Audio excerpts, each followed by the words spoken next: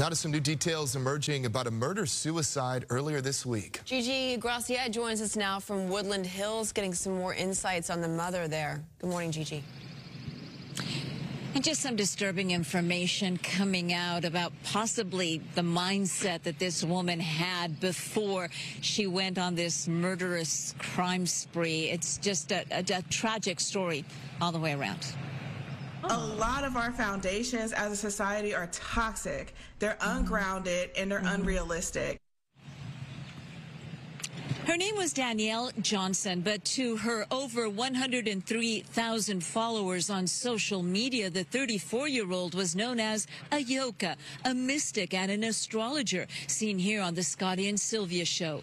In the week leading up to her death, Johnson had been posting constantly about the upcoming eclipse, warning her followers that they needed to choose a side talking about the apocalypse and that something big was going to happen. She also shared conspiracy theories and anti-Semitic posts. Investigators analyzing the social media posts as they try to understand what led her to stab her boyfriend, Jaylen Chaney, to death inside their Woodland Hills apartment and then take her two daughters and push them out of her moving car onto the 405 freeway. That's where her eight-month-old daughter that she shared with Chaney died died, and her nine-year-old daughter was seriously injured. She then died by suicide after slamming her car at 100 miles per hour into a tree in Redondo Beach. This happening hours before Monday's eclipse. I mean, she was warning people. She was uh, saying pick a side.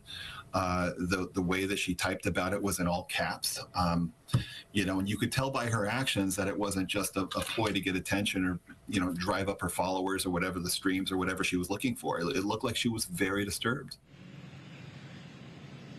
Now, Johnson was also a recording artist, she said, according to another account that she managed. And she had an Etsy store where, under the handle of Rich Girl Magic, she sold audio recordings of her voice for healing and astrological readings. And inside her apartment, we're told dozens of tarot card decks, candles, religious figurines, feathers, altars were all found. As for her nine year old daughter, she is healing from the broken bones and so much more. She's in the care of the Department of Children and Family Services. Her father lives out of state, and right now it's unclear if he's actually going to care for her or what will happen.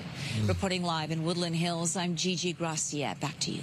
Oh, my goodness. Gigi, thank you very much. It's one of those stories that you just can't stop thinking about. Doesn't make sense. Nope. Yeah.